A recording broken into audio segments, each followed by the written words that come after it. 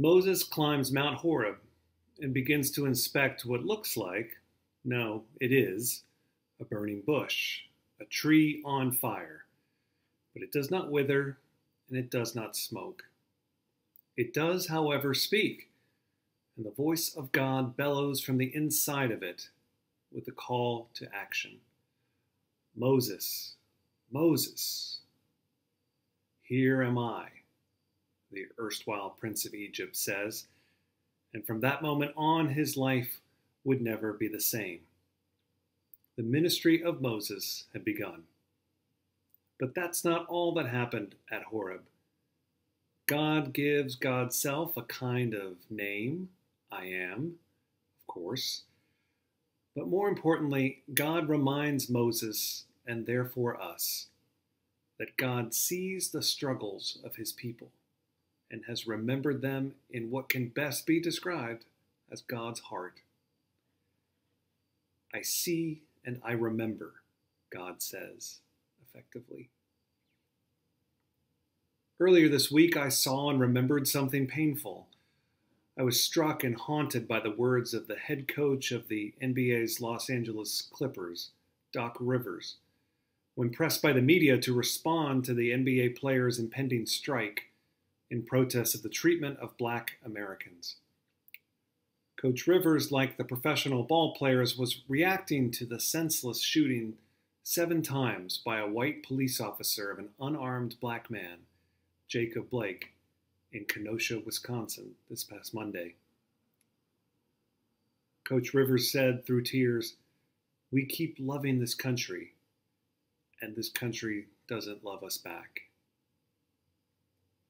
And so we see in horror again as a wrongful shooting terrifies and enrages the black community and its allies in America, and the cycle begins anew. Peaceful protests, yes, peaceful protests, which are then co opted by looters and rioters who take advantage of the situation. Much of white America becomes frightened, and then we hear the demands for law and order Soon the situation metastasizes into a political situation, them or us. And we escape to the political sides we've chosen for comfort to hear our own echoes. Hooligans and thugs are destroying our suburbs. White nationalists are loosed onto the streets as fully armed vigilantes. This happens over and over again, as it did earlier this summer, and will happen again and again until something in our bones changes us and until justice really is delivered.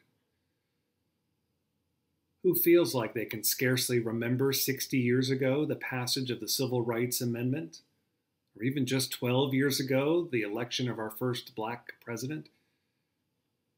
Feels like someone hit the reset button and all of that racism solved sensation Seems like an old pipe dream.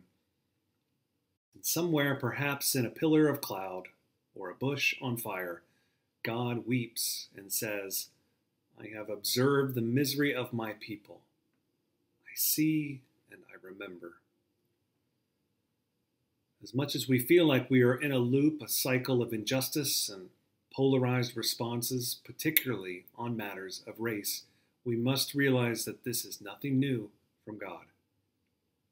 God who entrusted the earth to humans and only asked for love in return, has watched for millennia as we squandered that gift and that promise, only to be washed out to repeat the process all over again. God has had plenty of opportunity to move on, find a different chosen species to rule the planet in peace and harmony, love and equity, maybe it's another galaxy at this point. Who knows? I cannot for the life of me sometimes figure out why God keeps coming back to us, keeps extending loving arms, keeps encountering us at our most unsuspecting, our most vulnerable, and gives us another chance. In Exodus, God sees and remembers the enslaved people, the descendants of Abraham, Isaac, and Jacob who through bigotry and hatred have been subsumed into slavery in Egypt, a sworn enemy. They are the oppressed in this part of the story of earth. They are the ones disenfranchised and asking why Egypt can't love them back. And Exodus will culminate in the parting of the Red Sea, the miraculous opening of a pathway across dry land ancient Israel back into their homeland, back to safety and prosperity, back to the promised land. It's easy to see why, on this week's anniversary of the March in Washington, why black Americans like Martin Luther King spoke of their struggle in terms of bondage, deliverance, and the quest for the promised land. Like Moses, Dr. King would never reach that promised land. And like our black friends and family in this country right now, it feels like the promised land is a thousand years away. God encounters Moses in this origin story of sorts on Mount Horeb, which is also known as Sinai, in spectacular fashion, the famous burning bush, the voice to the would be prophet proclaims that he or she remembers the enslaved peoples and bucks up Moses to be the voice to speak to the power, the imitable Pharaoh of Egypt. But before that, even, there is the verse that please remove your sandals, for you are on holy ground. Holy ground, sacred ground. If you read in our newsletter this week or perhaps saw the introductory video from presiding Bishop Michael Curry, you will know that sacred ground, right here from this passage gifted us today, is the name of the series on race and reconciliation, which we begin next month. It is intended for white or mostly white congregations just like us in the Episcopal Church. A hallowed, sacred space and a place to confront and face the realities of racism, such as the fact that we have inherent privilege based on the color of our skin. Through no fault of our own, and many times without a hateful bone in our bodies, we must, must reckon with the fact that we benefit from our whiteness and the resources and privileges that come with that. From better access to stronger school systems or job opportunities to living in areas where there is no violence, which, by the way, is why white America is so afraid when there is social unrest potentially coming to their neighborhood, to something as almost imperceivable and as being ignored by police as we take casual strolls through our neighborhoods and our city streets.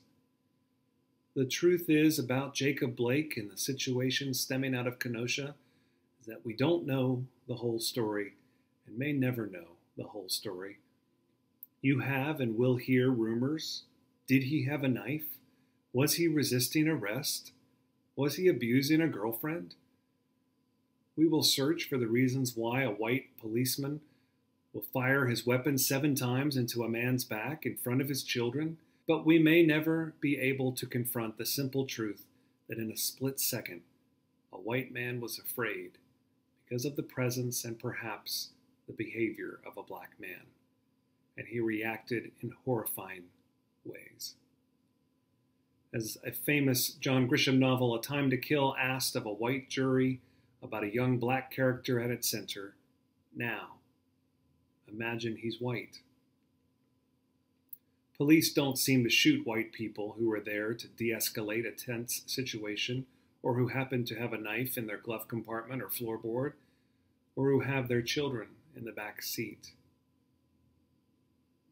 Though the sacred ground on top of Horeb is a chance for God to wipe the slate clean and build back humanity into relationship, for Christians, we still hold this intention with the unequivocally pacifist point of view of the incarnate God, Jesus Christ, millennia later. Violence begets violence, something our Savior was willing to prove quite literally when he opened up his loving arms on the hardwood of the cross to end the cycle of violence and injustice. But that's a tall order to ask even our Lord, and therefore it is a tall order to ask of Black America to do for us all. But how blessed, how blessed are we that with cameras and smartphones we are able to begin to see the world as it really is broken, fragile, systemically racist. We can see the injustices on a tweet or TikTok or a viral video, but will we remember? The Exodus story begins with a call and then a declaration that our Creator sees and remembers those in captivity, those in pain, and those suffering. God sees the people's suffering, remembers, and then enacts a plan to do something about it. We must stake our hope on this truth that God will do something about our current situation too. And we can only control what's in our reach. So, for us, for people who like it or not are the people in power and may be considered the oppressors, maybe we need to continue to begin at the start by changing our own. Maybe we who participate in creation like God, who wants us to participate in that loving act of creation, maybe we can hope to learn to see and remember, like God has done, is doing, and will do so again.